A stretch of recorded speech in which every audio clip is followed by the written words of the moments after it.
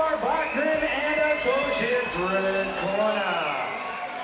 Standing 5 foot 7 inches tall, weighing in at 130 pounds, with an official record of 4 wins and just 1 defeat.